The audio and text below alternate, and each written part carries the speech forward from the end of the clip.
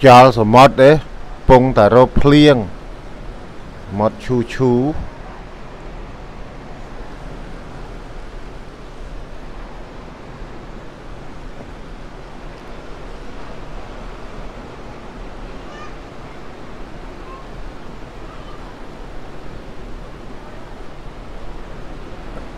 មើលទឹកមកឈូឈូ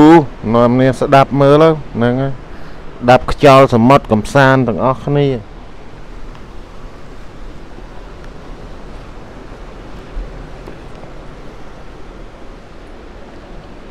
ភ្លៀងហើយនឹងភ្លៀងមកហើយ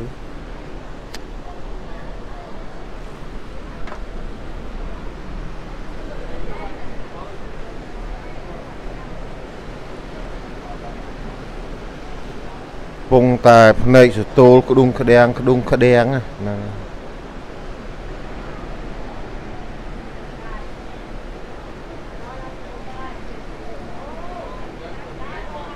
ហើយមើលទៅខាងក្រោមអស់មនុស្សរលីង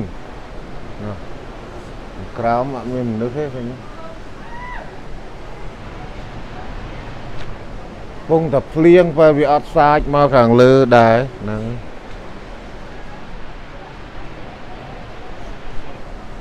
អស់មានអ្នកងូតទឹកងូតអីហើយទៅអស់ហើយ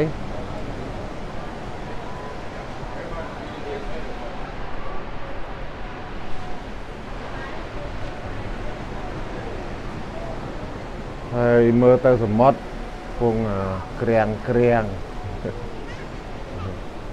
មនុស្សទៅអស់លីង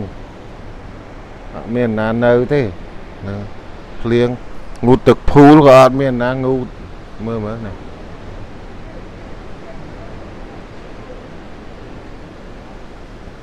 នឹងហើយទស្សនាសមុទ្របន្តទៅទៀត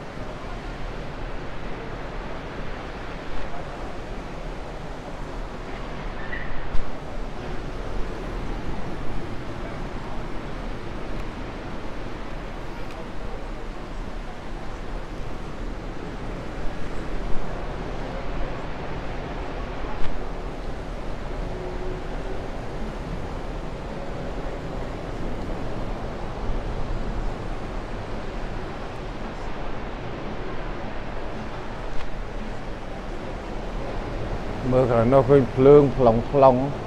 ហ្នឹងប៉ុន្តែវាអត់សាចមកនេះដែរភ្លៀងអត់សាចមក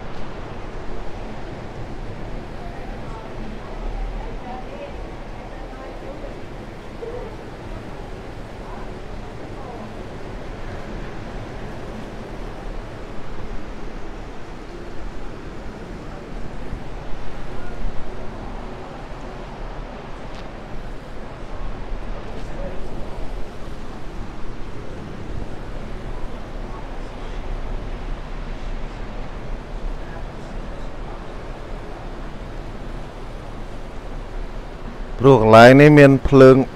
ភ្លើងបាញ់ទៅដល់យើងអាចមើលឃើញទឹកសមុទ្រក្រំក្រំមកហ្នឹងបើអត់មានភ្លើងមើលអត់ឃើញទេហ្នឹងមានភ្លើងអញ្ចឹងយើងអាចមើលទៅឃើញហ្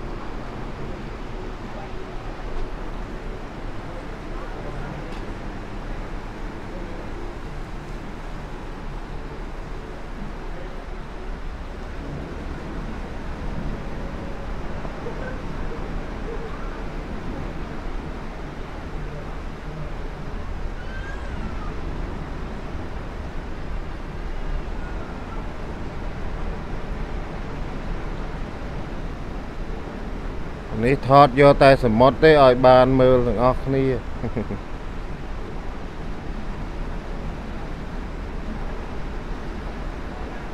សមុទ្រនៅពេលយប់ឲ្យភ្លៀងនៃចតូលមិនខ្លះ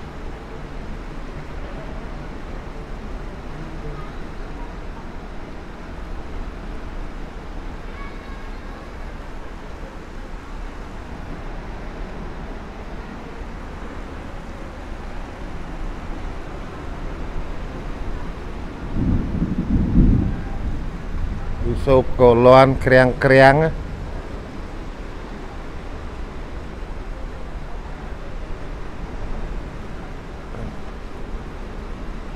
ដូចជាមិនសូវមានខ្យល់បក់មកអាខាងលើទេដូចខ្យល់នៅតែខាងក្រោមព្រោះ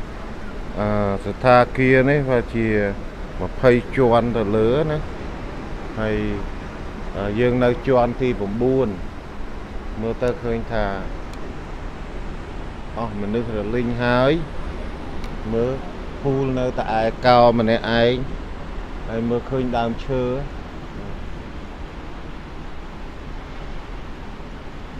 ហើយឃើញភ្លៀងកំពុងតែភ្លៀងប៉ុន្តែវាមិនមានការទៅទឹកដែរនៅខាងនេះអត់ទឹកហ្នឹងមើលទៅសមុទ្រម្ដងទៀតតើនៅពេលភ្លៀងផ្នែកបន្ទោលអញ្ចឹង ភ្លៀងខ្លាំងដែរប៉ុន្តែមិនដឹងយ៉ាងម៉េចវាអត់ឃើញមានតែទឹកនៅខាងនោះសាច់មកច្រើនទេអត់ហើយខ្យល់វងវងមកប៉ុន្តែនៅនេះដូចអត់ឃើញថាមានការកត់សម្គាល់អីមានខ្យល់ទេគឺវាដែលរៀងរំភើយរំភើយតិចតិចចឹងណាហ្នឹងវាអត់ទៅមានមានខ្យល់បក់មកដើម្បី ឲ្យលឺសូវូវូអត់ទេលឺសូតែធម្មតាបន្តិចបន្តិចនេះមើលអាឈៀបម៉ង់3នាក់នេះវាកំពុងមកមើលទឹកសមុទ្រដែរអាឈៀបម៉ង់មួយនោះវាចូលទៅក្នុងវិញណានោះនេះកូនឈៀបម៉ង់តូចតូចហ្នឹងតូចតូចហ្នឹង វាមកទស្សនាកំសាន្តនៅមហាសមុទ្រកំពុងតែភ្លៀង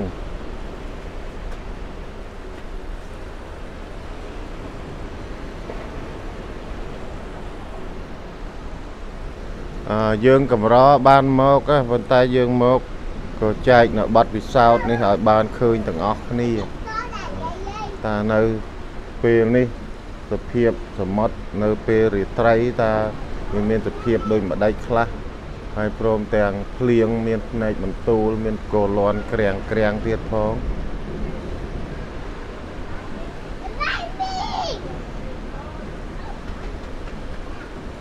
ចឹងបងប្អូនទាំងអស់គ្នាបើយល់ចូលចិត្ត Channel USKK Share របស់ខ្ញុំក្នុងដំណើរកំសាន្ត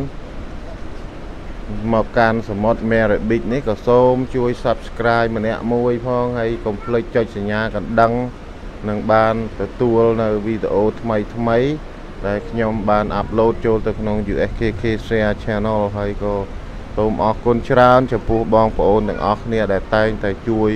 ចូលមកគ្រប់គ្រងនៅ USKK ជារៀងរហូតមក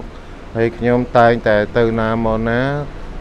ផ្ដិតនៅរូបភាពនៅជុំវិញខ្លួនខ្ញុំចែកជូនទៅដល់បងប្អូនយើងបានទស្សនាអាបីដូចជា បងប្អូនទាំងអស់គ្នា បានមកកាន់នៅទីនេះដូចជាខ្ញុំដែរភាគច្រើនខ្ញុំបានឃើញនៅអវ័យអវ័យប្លែកប្លែក